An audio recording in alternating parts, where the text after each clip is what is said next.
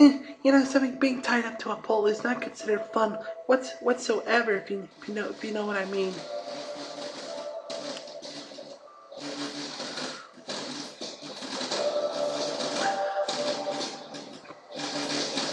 Well, I mean, especially to a girl.